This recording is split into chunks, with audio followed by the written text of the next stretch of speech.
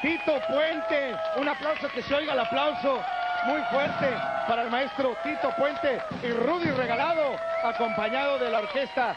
¡Chévere! Claro que sí, amigos.